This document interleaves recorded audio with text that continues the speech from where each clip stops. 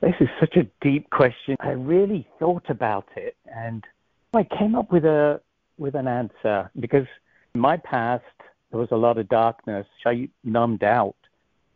But the way I want to address your question is with three questions back, which is really questions to contemplate when we go into those dark places.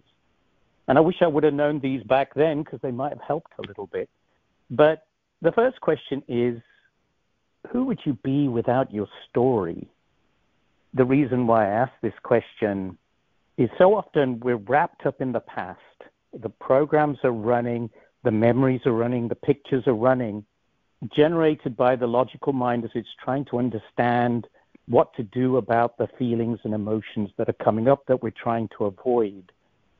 But the main thing is that by asking the question, who would you be without the story, your mind typically is not able to answer the question. And the deeper you go with a question like this, the more level of peace you start to reach because you start to realize the divinity within. The second question is really uh, a pretty powerful question because I know a number of us have had trauma in the past. No matter what the trauma, and there's, again, I've heard some horrible stories, the question is really how has that trauma shaped you in a positive way? How has it been the fuel for you to be able to become the person that you are, the seeker that you are, the individual that is sharing their light with others today on the call, today in your reality, in your world?